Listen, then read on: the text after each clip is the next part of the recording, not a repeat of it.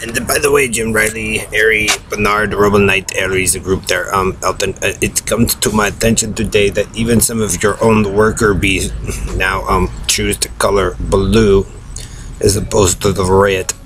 They might be seeing the light, but see, the problem is, dudes, that I never chose red in the first place or to be bit down this way. And so, um, good luck. But yes, Robo Knight, C, Harry, Bernard, Joe, they're having second thoughts about what they did. Oh no.